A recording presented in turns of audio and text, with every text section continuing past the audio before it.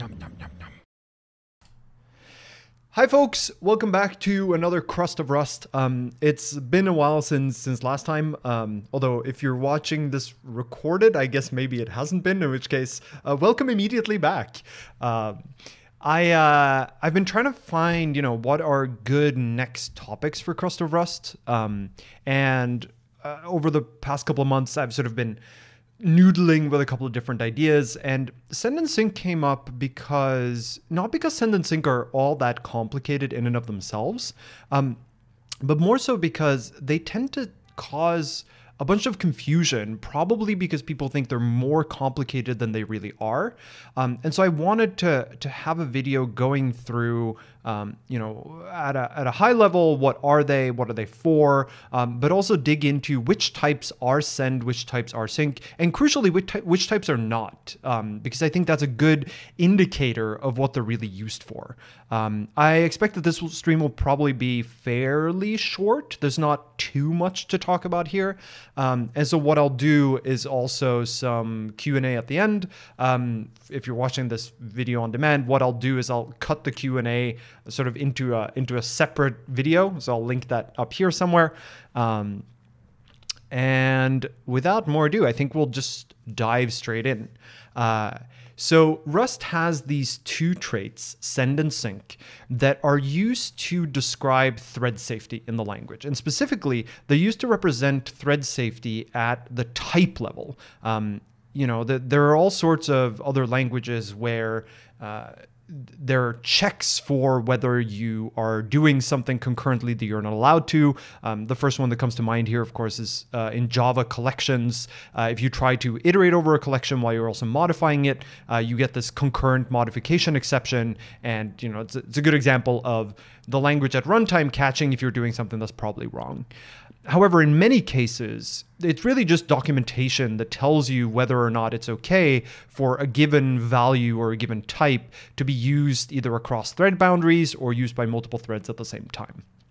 In Rust, those are those concepts are all baked into the type system, so that at least in most cases, um, you can check for the, the the thread safety and the the correctness in terms of thread safety of your program um, just by type checking it. Um, the two traits are very related, um, but they do serve different purposes. Like you couldn't really get away with just one or the other. Um, and before I talk about how they differ, I want to talk about how they are the same. Um, so first of all, they are both marker traits. Uh, you'll see that um, send is in the std marker module, and same thing for sync. Now, markers, if we go over to the marker module, um, this talks about you know primitive traits and types representing basic properties of types. And what you see if you look through these is that um, all of these marker traits are specifically traits with no methods, um, hence the name marker. They're only used to mark that type meets a given um, property or, or has a particular property or guarantee about it, um, but it does not confer any additional behavior. Like, for example, if something implements a send trait, you don't get a sort of send method on it. That's not a thing. It just tells you that that type is send. Um, marker traits are a little bit special. Uh, as far as the compiler is concerned too. So if we dig into the source here, um, you'll see that it is marked as uh, an auto trait. Um, this is not directly combined with the fact that it's a marker trait. Like you can have um, that not all marker traits are auto traits, but the fact that it's an auto trait means that the compiler will automatically implement this trait for you if all of the members of a type are themselves that same trait. So in the case of send, for example, if you define a new type, whether it's an enum or a struct or a type alias, um, that type will be sent. Well, type alias is a little different, but let's take structs and enums, um, or you know tuples and arrays and whatnot. They implement send if all of the types that are inside of it also implement send. Same thing for sync. Um, these are auto traits. Um, and you can sort of imagine that it's it would be weird to have an auto trait that is not a marker trait because an auto trait um, implicitly is implemented for uh, anything where all the members implement the trait, but it's not clear what you would put in like if there was a method you had to implement there, how you would delegate that to the inner types. So in general, um, all auto traits are marker traits, but not all marker traits are auto traits. Um, yeah, the empty comment here is is uh, very helpful. Thanks. Um, so those are the ways in which they're the same. They're both marker traits. Um, they're both auto traits. Um, and apart from that, they, they sort of work the same way as uh, all other traits. They're primarily used in trait bounds. Um, so that would be, you know, you can have a function or a method or something, or even just a type that requires that an argument that is passed or a field that it has or something is generic over must be safe to cross thread boundaries. And so that gets us to, you know, how are they different? Um, and we'll talk about send first because it's easier to explain sync in terms of send than the other way around. Um, the the property that send tells you about a type is that it's okay to pass that value to another thread. So, so specifically, that is give away ownership of this thing to some other thread. So that thread from that point forward um, gets to do whatever it wants with that value. It sort of com- confers um, that it's not just that that thread you know gets to read or gets to write it's that thread can do whatever it wants to the value is the way to think about send um, and most types are send just like in general. Um, the idea being that, you know, if you have a primitive type, for example, you know, if you have a Boolean or a number or something, giving it away to another thread has no downsides. Like, there's no problem handing that value to another thread because it's just a number, it's just a boolean, it's just a string. Um, the kind of things that are not send are more around um, types where if you pass them to another thread, then that thread might violate some um, uh, implicit assumption or invariant of the underlying type. And there, there are two primary examples of this. Um, RC, so the non-atomic reference counted type, and we'll, we'll, get into why that's a problem. Um, and the other one that that comes up a fair amount is um, mutex guards. Uh, and that applies both to you know the the standard mutex, but also to RW lock. Um, this is not a universal property of like any mutex, but specifically the ones that are in the standard library that are backed by the OS implementation of these um, are usually. Sorry, yeah, so they are not send um, because there's a requirement, at least on certain operating systems, that the thread that gets a lock has to be the same thread that releases the lock. So um, if you if you take a lock on thread A, um, you're not allowed to then have thread B try to release the lock that A got. It has to be A that, that releases that lock. And notice that this doesn't mean that the mutex type itself isn't send. It doesn't mean that RW lock is not send. It's specifically the guard that's not send. And this is an example of a more general property, which is if you have the drop implementation of a type, refer to a thread local to thread local state that was created as part of the creation of the object, then that generally means the type can't be send, right? Because imagine, you know, you, you create this object on thread A and it uses thread local state on A. And then you send it to thread B, and then thread B tries to drop it. It goes out of scope or whatever. Then when thread B drops it, if the drop tries to access that same thread local state, it's going to try to access B's thread local state, not A's, even though A is, is what it used in order to create the object. And therefore, you end up sort of violating some internal invariant, and that usually doesn't go very well. RC is a little bit of a different beast. The, the reason why RC isn't send is because I can write code that, um, in fact, let me um, cargo new lib. Uh, what are we going to call this one? Uh, sharing is caring. so if I go in here, I'll get rid of some of this. Um, no, I mean actual thread locals, like you know the the thread local macro from the standard library. Um, so the problem with uh, the problem with RC. In fact, let's just make our own RC this is roughly what RC looks like.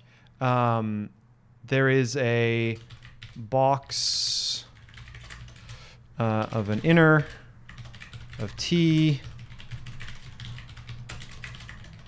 Um, and the inner has a count, which is a usize, uh, and it has a value, which is t. Uh, actually, this is a, oops, no. This is one of these. Um, and you know, there's a we we did a separate video on um, reference count and smart pointer types and the like. So I'm not going to go through all the details of why it does exactly this. Um, but I wanted to show specifically for RC what happens. You know, so it returns a self, um, and that's just going to be uh, RC inner is going to be box into raw, box new, uh, inner count is one, value is, I guess, value is v. So that's going to be new, and then impl t clone for RCT. Notice here we don't require the t is clone.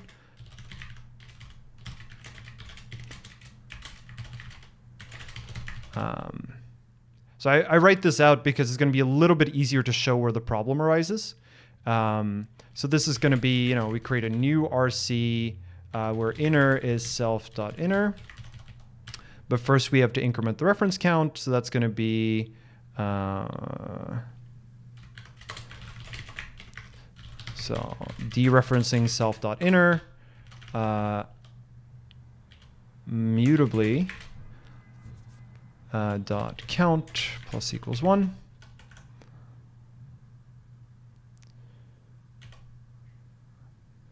And we're going to implement drop for RCT. And that's going to be, do this.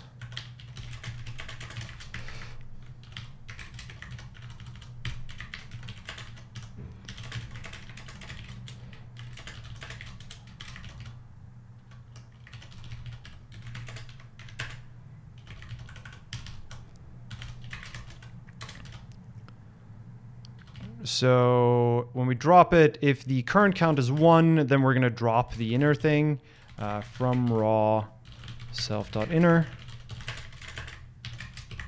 And that's also unsafe.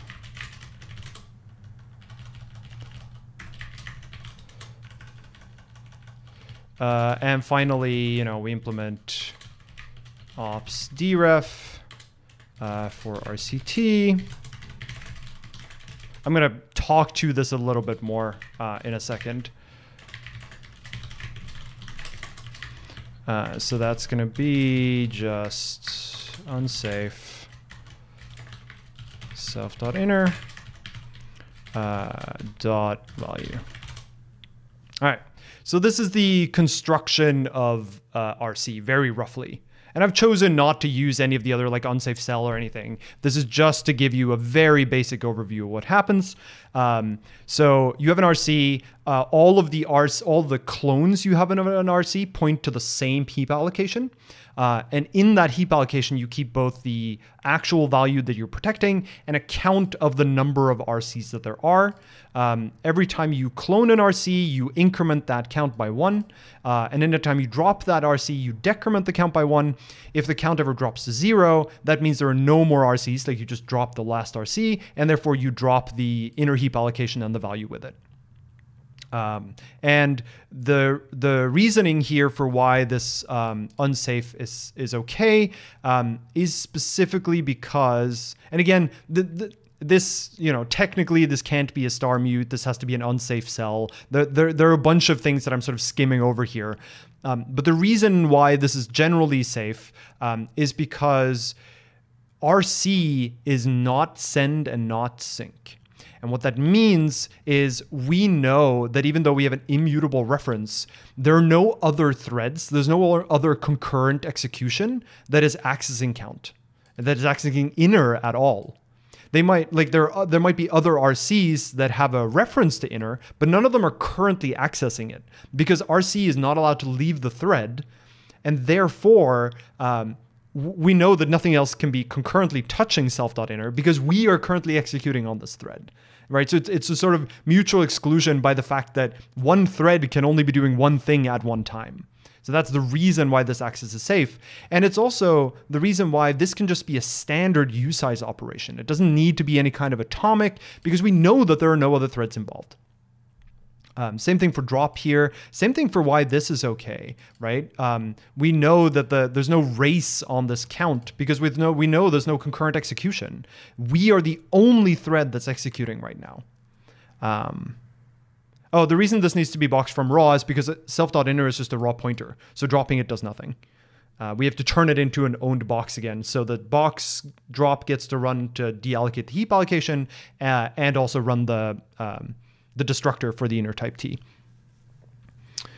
Um, so that's that's sort of the the basics of the argument. But crucially, as you see, this relies on the fact that RC is not send. If RC was send, then what I could do is, um, you know, x is RC new of you know some value one, uh, and then I could do thread spawn. I do let y equals RC new two, and then I could do move uh, and let y uh, standard thread. Uh, unmatched. I think that's a lie. I don't think there's an unmatched here. Oh, it's because I need to move source lib to source main. And if I run cargo check, ooh,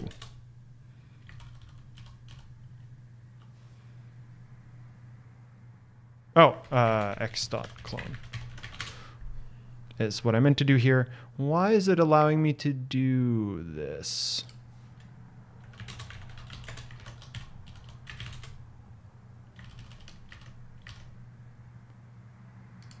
Wait, yeah, so as you see, the, the method signature on spawn requires that the function you pass in, that its argument is send, right? So it requires that you um, have to be able to pass the anything that the closure that you pass to spawn, anything that that closure moves is um, is send, is, is allowed to be sent to another thread. And this is sort of where send primarily comes in useful, right? Anytime you want to spawn a thread, you will almost certainly be going through this API, and this API requires send. That's the reason why send has an effect. Uh, why this is allowing this particular operation, though, is unclear because star mute should not implement send. Um, but let me try this just to... Uh,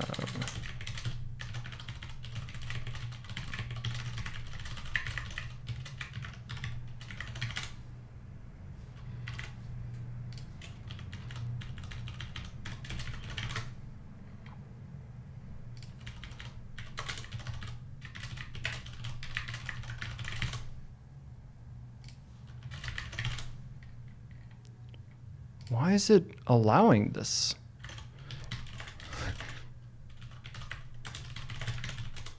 No, so I shouldn't need to explicitly not implement send because this type should already not be send.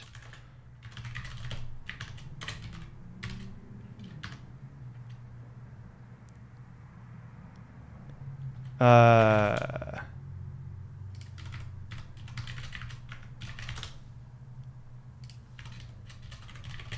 Give me one second here, because this is real weird.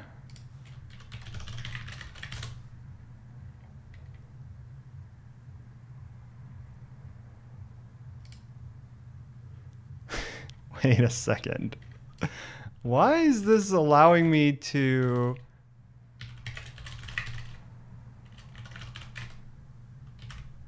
Uh, this, uh, this is a good way to just test whether uh, a, a, type constraint you accept, you expect uh, actually works the way you want.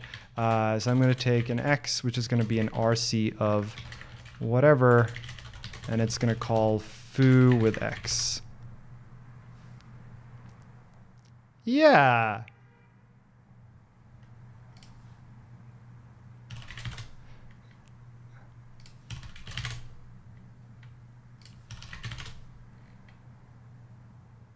Okay, so our type isn't send, right? So what I'm doing here, right, is I create a foo, uh, a function foo that requires its argument to be send. I create a function bar that takes an RC. This is our RC type and calls foo with that um, with that RC. And the compiler says, you know, bar calling foo this way is not okay because RC of unit does not implement send right? And so the, the error gives us more explanation here. It says star mute inner cannot be sent between threads safely. Um, and specifically, this is because it appears within RC, so the trait send is not implemented. Uh, and it's required by this bound in foo. But uh, this should also not be okay. Um, it might be because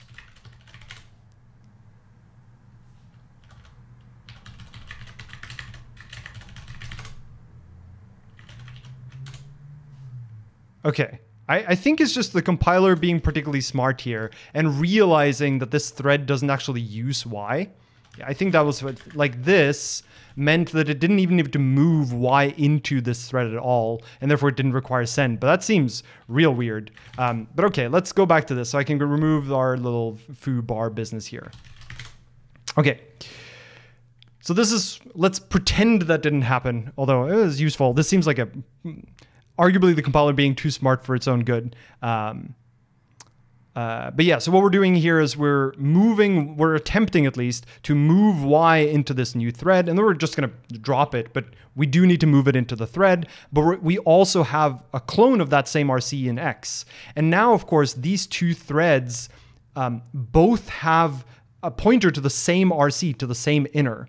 And when we imagine that these two threads run concurrently and they both try to drop Y, so they both try to drop what is effectively the same RC. So both threads enter drop for RC at the same time. They both read the count. Then you might end up with neither of them seeing the other one's decrement yet because they're running concurrently, right? So they both here when they do when they dereference the count, they might both see two, not one. So neither of them go into this. They both go in here, they both decrement the count by one each, so it's now zero, but neither of them took this to actually drop. Um, and that's that's you know less of a problem. It just means you have a memory leak. Um, but it can happen the other way too, right? Where um, you could have uh, multiple threads seeing one because they race on the axis of this count field, and then they both end up dropping. They both end up calling box from raw. They both end up invoking the, the drop type of the inner T, and that's just straight up unsound. That's that's undefined behavior. Um, and so this is why send is valuable, right? It, it tells the compiler that this type you cannot share across thread boundaries because bad things will happen. Uh, and then the compiler will, and in fact, it's not even, you know, the, the compiler doesn't know anything special about threads. It just knows that this thread spawn function requires that the type it's passed implement send. And so it checks, does everything that goes into this closure implement send? RC does not, therefore this is not okay. Right? Um, the type of Y here is also RC. All right. So, in other words, uh, this is why RC can't be sent. Uh, very different reason for why mutex guard can't be sent, but this is the reason it can't be sent. So let's uh, then move on to sync. So sync is fairly related to send. Um, in fact, they're so related that sync is is almost defined in terms of send. So specifically, um, a type T is sync if and only if a reference to T is send. So let's, let's try to digest that a little bit. If you have a type where a reference to that type is allowed to be shared across threads, then that type is sync. Even if the type itself cannot be passed to some other thread. Like I can't give you a mutex guard. But if I have a mutex guard, I can give you a reference to that mutex guard. That's fine. Right? Because and this sort of come and the reason this distinction is important this comes back to um, the reason why mutex guard can't be send right is that we can't allow some other thread to drop it But if we just give away a shared reference to one that we already have, they're not going to drop it for us, right? They don't get any kind of owned access to that mutex guard. They can't drop it because it's behind a shared reference, and dropping required a, uh, a mutable reference. Um, they can't you do like tricks with mem replace or anything because all of those require a mutable reference to the inner type. All they can do is read from it. Um, which is all fine. None of that means that they drop, which is the thing that we were concerned about. Um, however, RC can't be sync, right?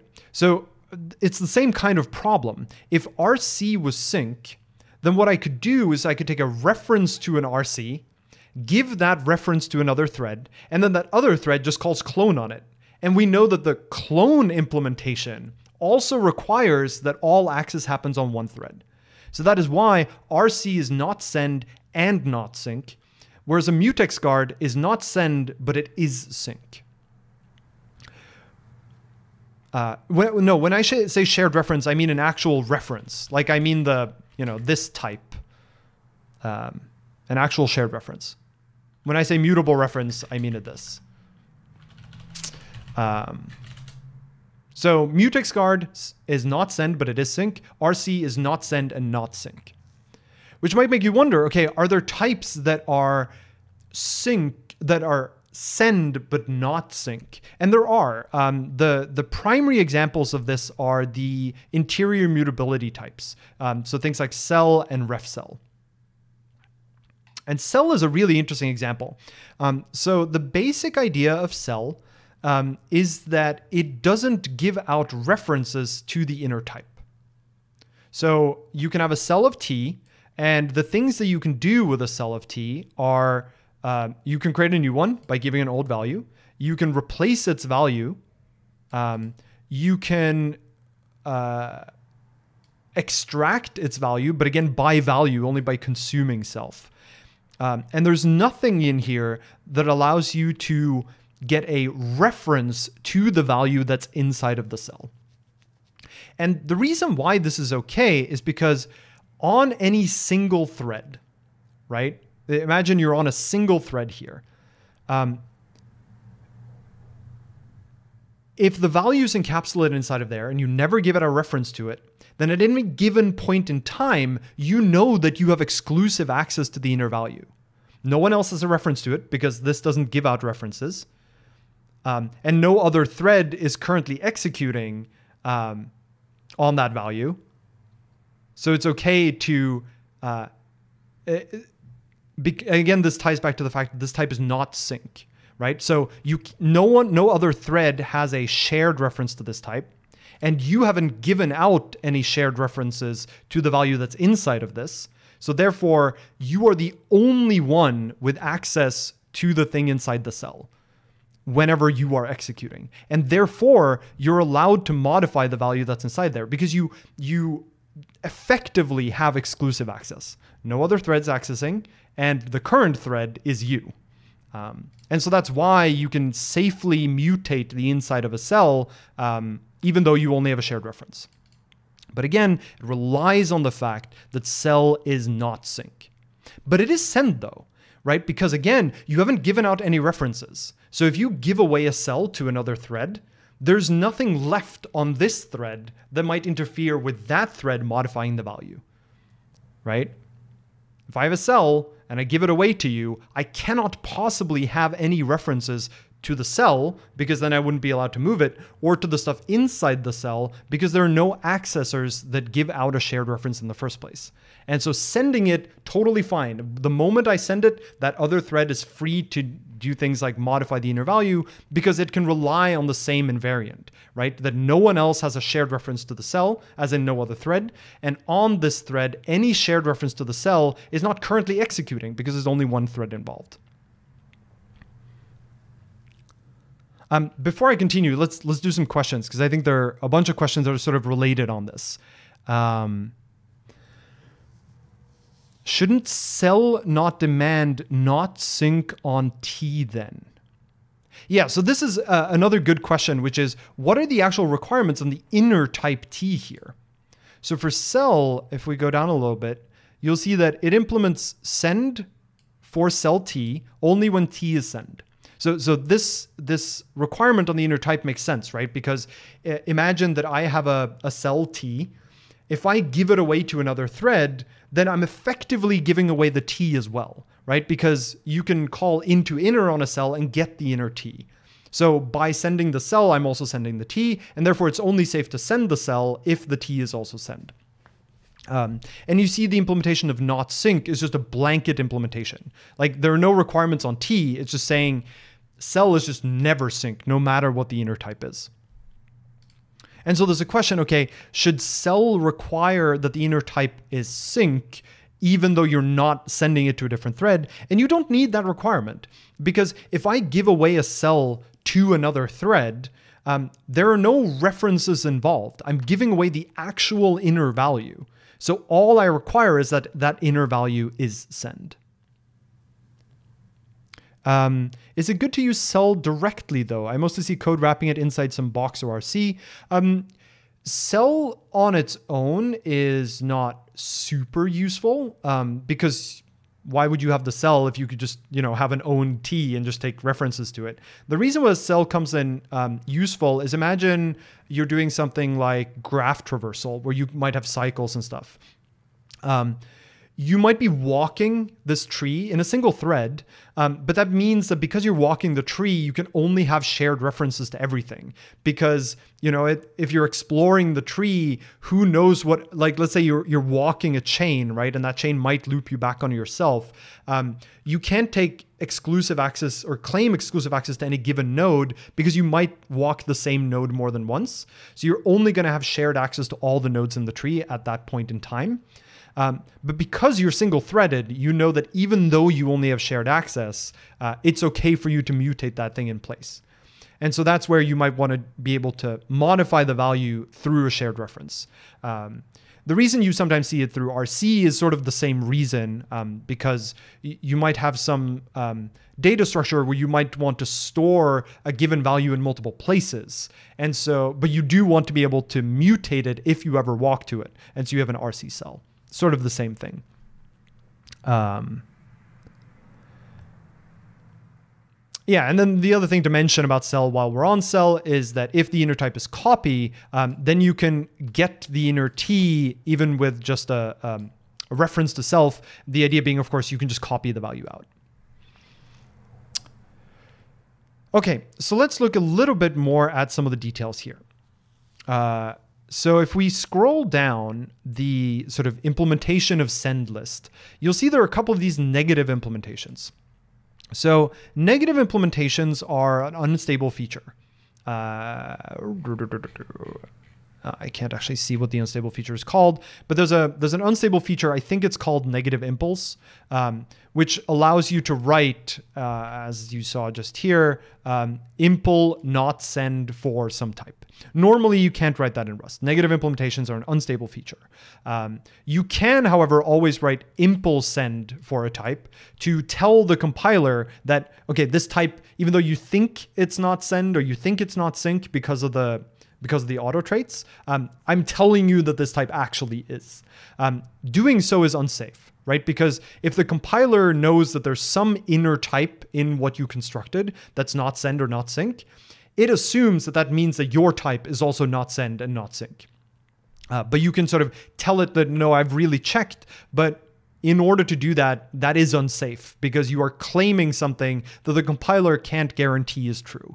Um, so doing a positive implementation of send is unsafe. Doing a negative implementation is unstable, but it's not safe. Uh, it's not unsafe. Um, so you might wonder, okay, why would I ever need this? Like, why aren't, um, you know, why would I ever want to not implement send for a type? Um, it's fairly rare uh, that you actually need to do this. Um, like usually, it's the case that you know the the auto impls are going to be um, overly negative rather than overly positive. So in general, your types are not going to implement send and sync when you want them to, rather than they're going to implement send and sync and you don't want them to. That is very rare. Um, it comes up usually if you're writing code where the internals of it um, hold only types that are send and sync, like they hold they hold you know boxes or integers or something, but you're doing something with them, like accessing a thread local, where the act of accessing that thread local makes it not thread safe. But there's nothing about the inner types that makes it um, not safe. So mutex guard might be an example of this, where you could at least imagine that what it contains is something that's you know uh, totally send, um, but because of this thread local access, um, that makes it not send, and it's not something the compiler could infer for you. Um, another thing that, that's worth bringing up here, uh, if we go through this list, is you'll see that there's an implementation of this is the one we the sort of prim the uh, not primitive but the the basic implementation of sync right? Which is we implement send for a reference to t where t is sync. So that's almost the definition of sync. You'll also see there's an implementation of send for a mutable reference to t where t is send. And this might strike you as a little odd like you know, if we're giving away a shared reference to t, why does that require that that t is also send? Because I'm not giving away the actual t, I'm just giving away a reference to it, even though it is a mutable reference. And the reason for this, of course, is uh, methods like um, mem replace. Right? So the mem replace function takes a mutable reference to a t and a T and gives you back the T that was stored behind this destination. And it sort of swaps it out in place with this T instead. But the problem here, of course, is that means that you can take ownership of something you were only passed a mutable reference to. So if I send you a mutable reference to a T, if that T is not send, you could use this to take out the T and then you drop it so again, imagine a mutex guard. If I give you a mutable reference to a mutex guard, you could take your own lock, swap the two mutex guards, and then drop my mutex guard, which would not be okay. And so that's why there's this um, send bound on the T for mutable references. Um, if we keep scrolling through a lot of these implementations uh, that you see, you might be surprised. Like, why does there need to be a, an explicit send implementation? Like, auto trait implementations are not listed in this list. So why does there need to be an explicit implementation of send for, you know, iter mute for vecdeque, for example? Um, and if we go in there, we might be able to see why. So you see there are these manual implementations of the types. Uh, and you see the safety comment says we do nothing thread local, there's no interior mutability, so the usual structural send sync applies. So then you might go, well, why didn't the auto traits do this? And the reason for that we can find by scrolling down a little bit longer, where you see that there's an implementation of not send for const t and not send for mute t. Uh, you'll see the same for sync. So if we scroll down far enough, um, you'll see that there's a negative implementation of sync for all the raw pointer types. Now, the reason that exists is not because it has to be there, right? If you have a raw pointer, you know, there's nothing that stops you from sending the pointer or having sync on the pointer because ultimately it's unsafe to dereference anyway. So why have these implementations? They're not fundamentally not send or not sync. The reason why these negative implementations are there is entirely to uh, make it so that if a, a someone who writes a type isn't entirely clear on what the rules for send and sync are, we sort of fail in the safe way which is their types are going to be not send and not sync if they have raw pointers in there, because chances are they haven't thought about thread safety. And then we would rather the types not be send and sync than for them to accidentally be send and sync when that wasn't okay. So this is sort of a, uh, you can think of it as a sort of countermeasure to the auto traits, which is to say, if your type contains raw pointers, chances are you have to think carefully about thread safety. And so, therefore, we're going to require that you put in a manual implementation of send and sync for those types. Uh, and so we were sort of going to break the, the auto trait inference intentionally if you ever stick a raw pointer in there. Does that make sense for, for why that's useful? And indeed, that is what we see for iterator, right? So uh, iter mute here in, in vecdeque, uh, you see contains a, uh, a, just a raw pointer, and therefore this type does not implement send or sync automatically by um, auto traits. And so it requires this manual implementation. Uh, and the manual implementation is okay because you know the as the the comment here says, they're not doing anything that makes it not send and sync, but they need the explicit implementation to get over the fact that the auto traits did not apply here.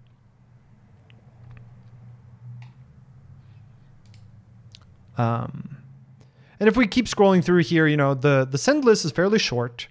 Um, you see there's nothing that's super surprising here. There are explicit implementations for anything that contain uh, inner pointers. There are negative implementations for raw pointers, including things like non-null, which is also effectively a raw pointer. There's a negative implementation for RC and for um, RC weak, which is effectively also just RC. Um, you see cell and ref cell both do implement send, like we talked about. Um, they do not implement sync because that would not be okay. Um, well, what is interesting is, you know, atomic pointer, which is also really just a raw pointer type, does implement send. And the idea here being, you know, if you're if you know to be using atomic pointer, chances are you have thought about send and sync. Um, I don't know whether this one was a good idea. Uh, I think, you know, even if you're using an atomic pointer, I think you should also still be required to do the manual implementation. Um, but you know, such is life. Um, what else do we have? Anything that's interesting? Yeah, so here we see the the not send for the guards that we talked about. Um, more not send for RCs.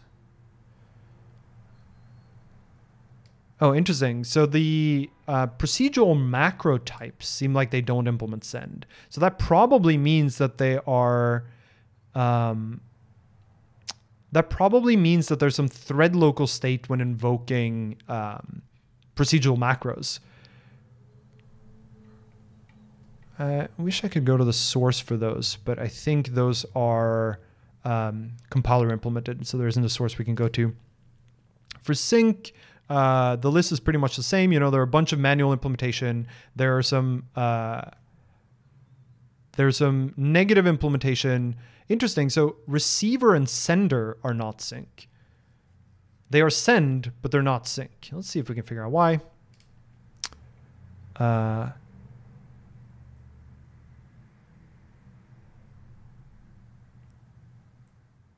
yeah, so, so this is another good example, actually. If you look at um, channel senders, you'll see that so imagine that you have one of these multi-threaded channels, right? So you have a send end and a, a receive end. Um, you'll notice that the send method does not require that T is send. You know, that there's nothing here that requires that T is send. And the reason is if you have if you create a sender receiver pair of a channel, um, but you never move them to other threads, then there's no requirement that the types that you send over there are themselves send because they never cross the thread boundary. So instead, and you'll see this is a fairly common pattern in the standard library, um, you'll see that there's only a requirement that T is send if the sender is sent. So you can only move the sender and similarly the receiver across thread boundaries if the T is send. And so you can create a channel of non-send things and use it within a thread just fine. And it's only the moment you try to move either end of the channel across the thread boundary that it requires that the inner T is send. Which is interesting. The, the reason I say you might say see this elsewhere um, is if we look at something like arc. Um, let's go to arc here. So for arc, You'll see that arc also does not require the T is send or the T is sync. Um, sync is the more relevant one for arc, right? Because in general, you can't get a mutable reference from um, from an arc T, but it is possible, right? So it has things like get mute. Uh, where is get mute? Right, so you have this. Um, if you have a mutable reference to an arc, you might be able to get a mutable reference to the inner T um, if the if the number of clones of the arc is one, like you have the last remaining reference, then you can get an own T. Um, but you'll see that none of these require the T is send or sync.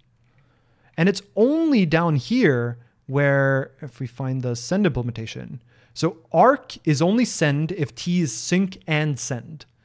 So again, you can create an arc of some non-sendable type just fine. You can create clones of it, that's fine. It's only the moment you try to move any arc across the thread boundary or a reference to an arc across the thread boundary. Only then do we actually require that the inner type is thread safe.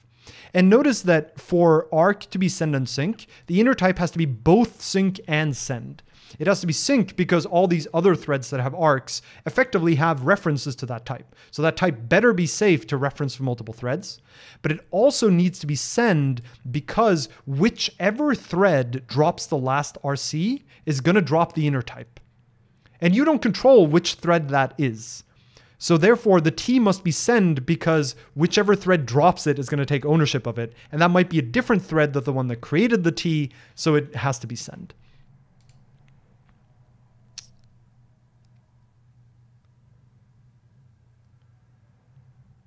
Um, if it is a reference, then it needs to be static, or do you have to move it by move?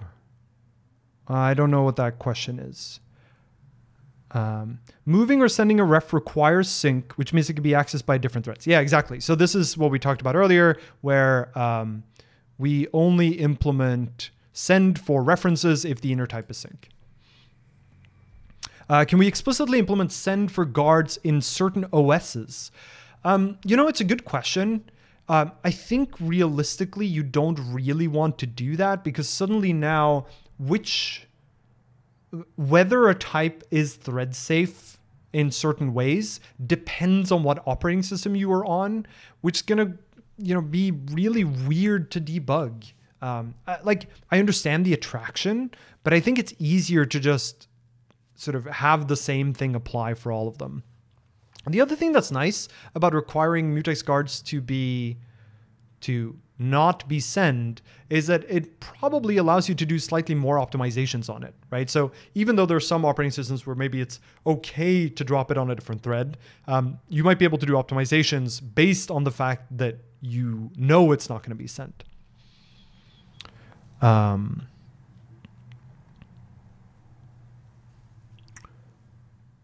yeah, I wonder why there's a not sync implementation for sender. I don't have a good answer for that. I think it's because sender. Um, so MPSC is a sing. Uh,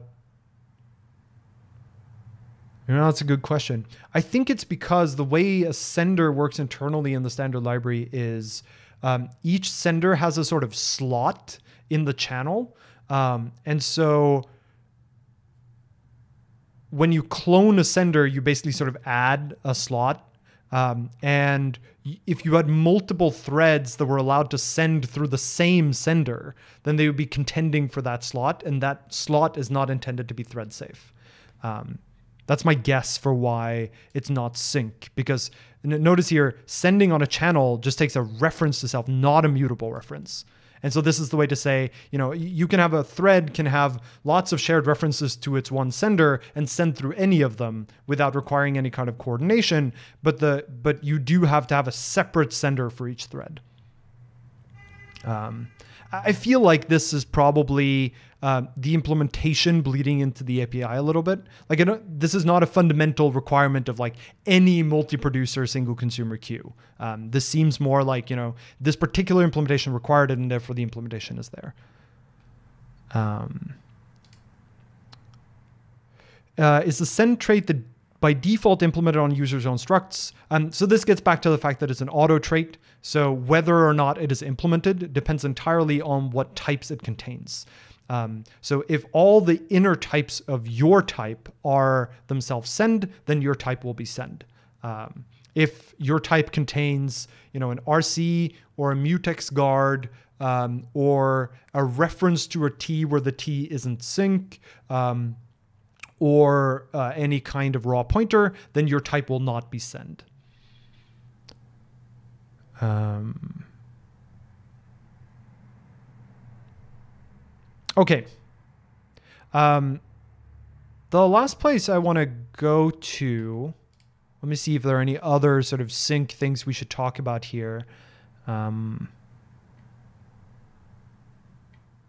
Yeah, so you can you can like scroll through all the auto implementers too if you if you're like curious to see these. But in general, the auto implementations are much less interesting because they are only implemented, you know, they're implemented without the programmer of that type having sat down and really thought about the the the send and syncness whereas the manual implementations are because the auto stuff did not do the right thing and so they're usually more instructive to look at. And my guess is you know if you go look at the source for these they're generally going to explain why this type is an exception right? So as we talked about mutex guard for example totally fine to have multiple shared references that you send to other threads to that mutex guard as long as you still retain ownership of the mutex guard and you're responsible for dropping it. Um, and I wonder whether the implementation says that. I wish there were more comments for things like these impls. They really should have. If you want an idea for going to send a PR to the standard library, go do that.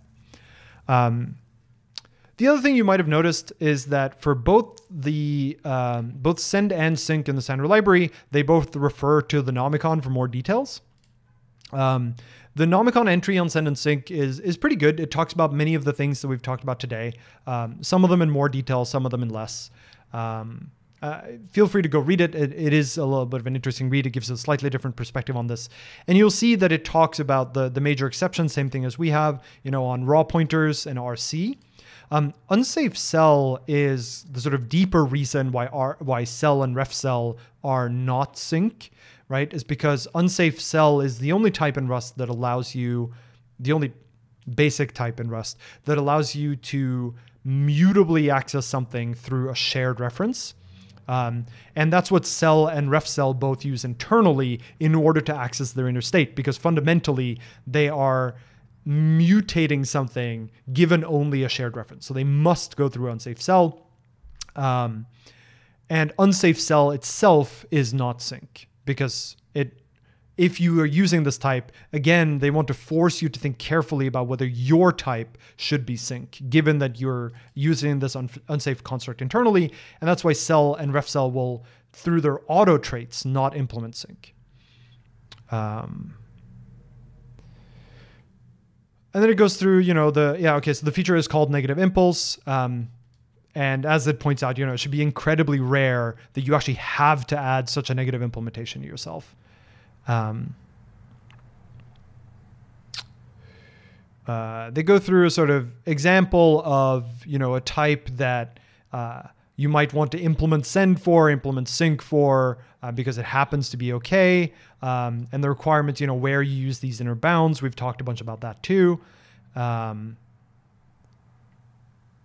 and yeah, it talks about mutex guards. So I think in general it touches on everything we have, but it does have a, a more thorough example where they sort of walk through the code that, that it might be useful. Um, and that's sort of all there is to send and sync, right? The, there's no compiler magic around send and sync beyond the fact that they're auto traits. Like the compiler doesn't know about thread safety. All the compiler knows is that some types, some like primitive types implement send, some primitive types implement sync. If all of the inner types of a type implement send, then that type implements send. Same for sync. Um, and so that that's sort of the auto trait business.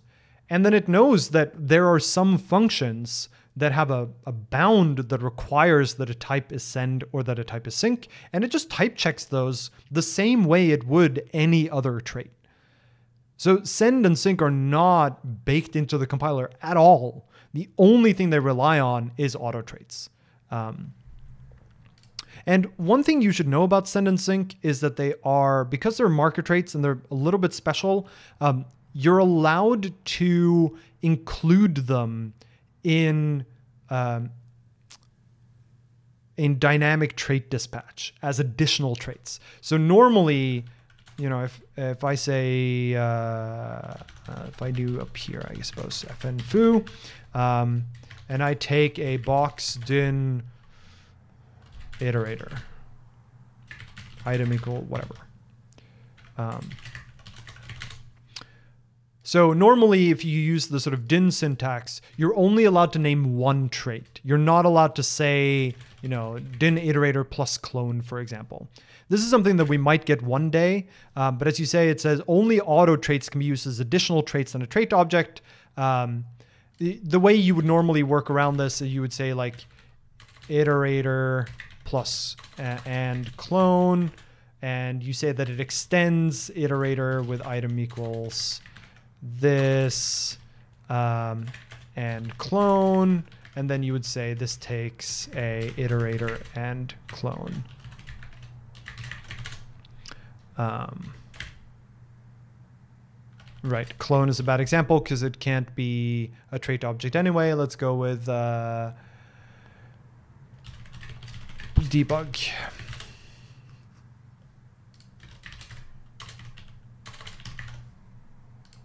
Um, so this is the way that you normally get trait dispatch to multiple traits. Um, but as that error message was indicating, the exception to this is auto traits, like send and sync. So you are allowed to write this. So I can say, you know, this type is iterator, and it is also both send and sync. Or I could do, you know, only one or the other.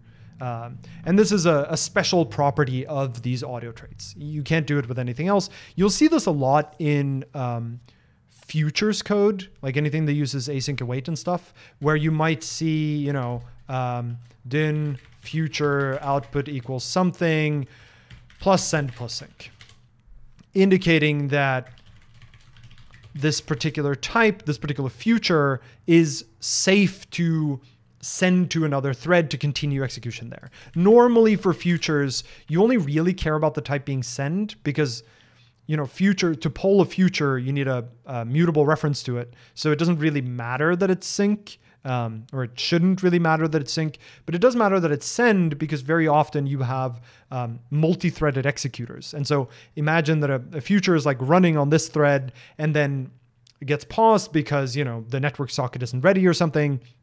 So that thread of the executor picks up some other future and runs that instead. And then this original future becomes ready again.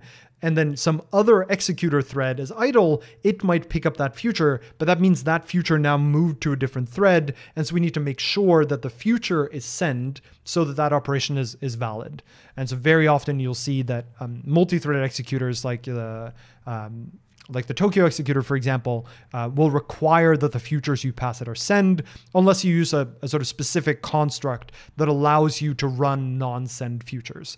I think in Tokio it's called local set, um, is a way that you can sort of spawn futures that aren't allowed to leave the current executor thread.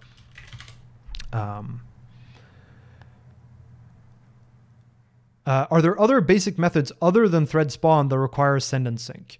Um, so the examples that come up here are, you know, arc and, and channels. Um, but ultimately, both of those only it only matters whether those are send and sync because thread spawn requires it, right?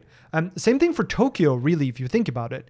The reason it requires send and sync is because deep down there somewhere, they spawn new threads, and those threads their arguments need to be sent and those arguments are you know in some sense receivers for channels where they have to receive tasks on and those receivers therefore have to be send which means that the type inside those receivers have to be send and that's why the futures have to be send.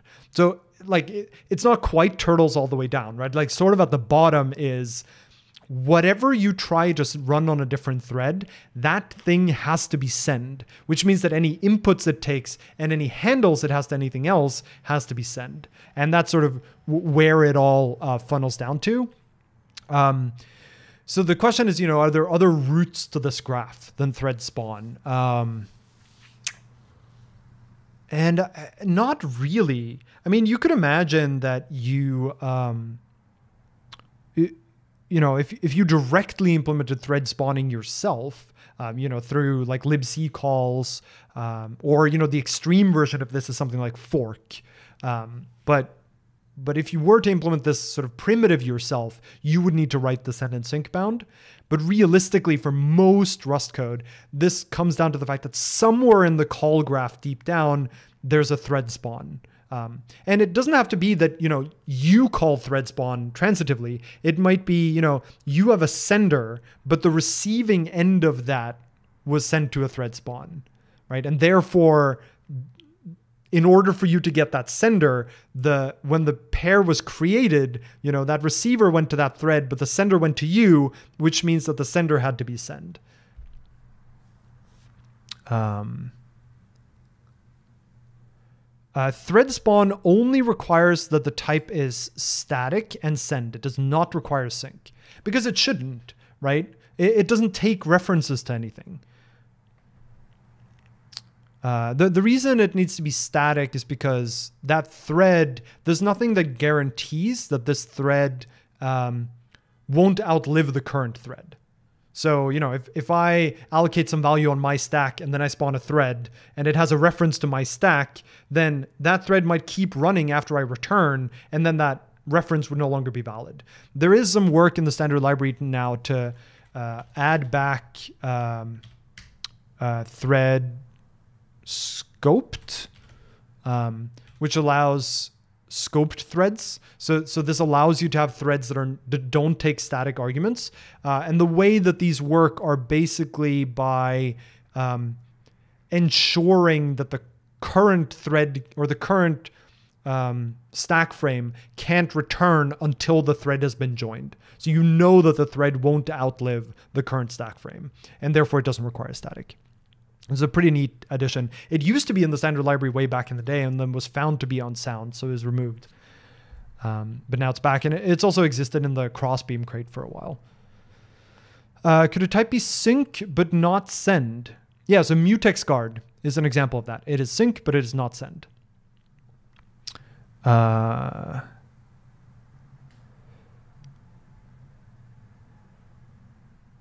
all right. Um, I think that's where I want to end it, unless there are questions, you know, specifically about send and sync before I before we move over to like a Q&A section. I told you this would be short. Uh, what I really want to convey here is like send and sync are not magic.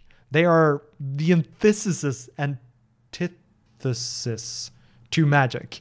Um, the the only magical thing about them is the auto trait part, and the auto trait part arguably doesn't matter, right? If if we didn't have if send wasn't an auto trait, then everyone would have to implement it all over the place and it'd be really annoying, but they would still work for you know the, their practical purpose of making sure that your program is thread safe.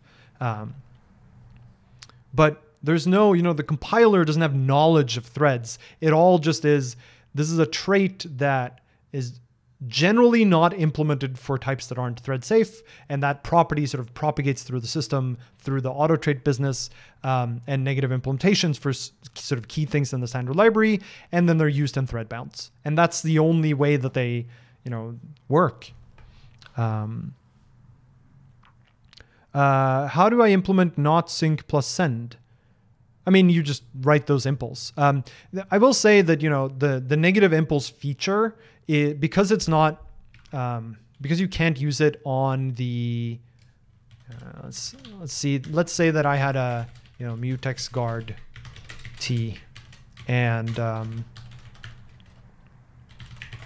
I can't use that. Uh, a t.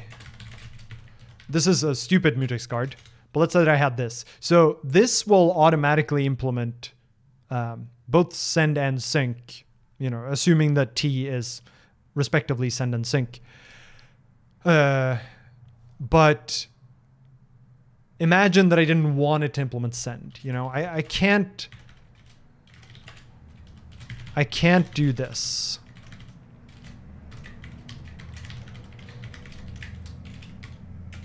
Currently, the standard library, the on the stable compiler, I won't be able to do this uh, mutex guard. Negative trait bounds are not yet fully implemented. So you might wonder, well, how do I do this if I want to work on stable? And usually the trick you pull is something like what you saw me um, do earlier, which is you can stick, you know, a, a phantom data in here of an RC of nothing. Uh, marker. Um, and phantom data means that you're not actually storing in RC. You, the phantom data is just like a pretend this type was here, but don't actually put one here, don't take up any space. Uh, and phantom data propagates through basically everything. So uh, particularly it, it propagates through auto traits. So RC is not send and not sync, and therefore this type will be not send and not sync. Um, so you, that way you only write the positive impls rather than uh, writing the negative impls. Um, and those you can write in the standard library. So here I could write, you know, uh, unsafe impulse sync for mutex guard T. Um, and that way mutex guard would be sync but not send um, by virtue of this. It's sort of one way to, to work around the, the lack of negative impls on stable. Uh, auto traits are compiler magic.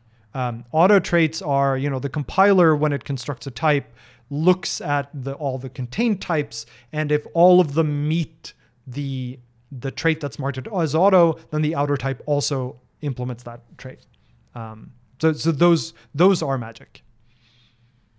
Uh, implementing sync and safe, uh, implementing sync and send are both unsafe properties, right? Because the compiler, you would only write these if the the compiler's auto trait inference says that these types are not send and sync, and then the compiler's going, you know, these shouldn't be implemented for this type, and you're claiming they should be anyway. That's unsafe. You're you're claiming these types that I don't think are thread safe are thread safe. Prove it to me and that's generally the meaning of unsafe. Right? The meaning of unsafe is the compiler saying, you prove it if you're so smart, right? Like that's really what the compiler does. Um, so manually implementing these is, is unsafe. Um, uh, auto inference is not unsafe, right? So if I remove these, um, now mutex guard will be send and sync, and I didn't have to do anything unsafe. All right, um, here's what I'm gonna do. Let's stop the uh, SendSync stuff here. Um, and then I'll take just a quick like couple minutes break, and then we'll do just general Q and A, um, not related to send and sync at all. Uh, so give me like five ish minutes, um, and then we'll be back and do more. All right, see you all in a very short while.